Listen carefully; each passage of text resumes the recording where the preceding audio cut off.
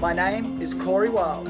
I'm a wildlife adventurer conservationist with a passion for dangerous and exotic animal species.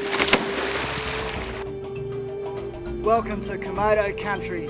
For as long as I can remember, I've been catching, studying and working with wildlife. Awesome, look at all these spectacled flying foxes up here. From the cute and cuddly to the highly venomous and the massive man-eaters.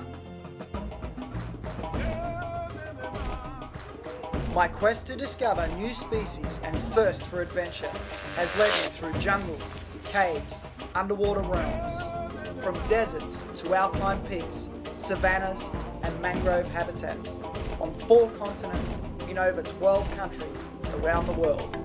Like elephants have been through here. My mission is to explore, track down, catch and educate about exotic species. Here we are in search of the one-horned rhino. To promote Mother Nature and inspire humans to reconnect to it. Here he is. It's all the commotion here. This is the big boy. Also highlighting positive conservation organisations and their projects along the way. I believe creating a better understanding of our natural world will in future help to protect it. He's only small, but he's a little bit interesting. Get ready to venture into the wild, wild world.